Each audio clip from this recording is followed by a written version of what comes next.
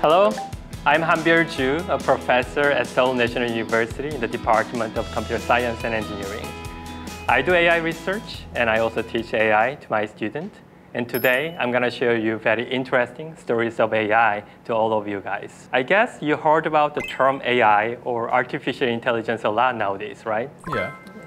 Have you ever considered the meaning of AI or the history or maybe the future of AI? I'm more concerned about the future of AI. That's excellent answer.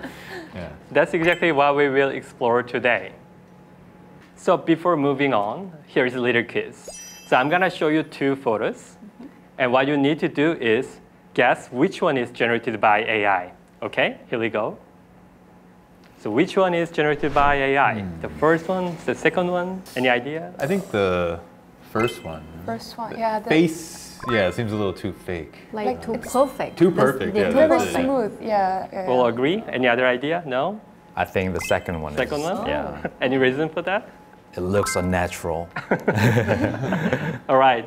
In fact, both of them oh. are generated by AI.